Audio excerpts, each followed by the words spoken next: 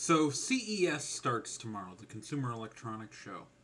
Now we're going to see a bunch of pre-announcement stuff today and all this, you know, lovely jive. But you know, this is going to be my entire summary of the CES show this year.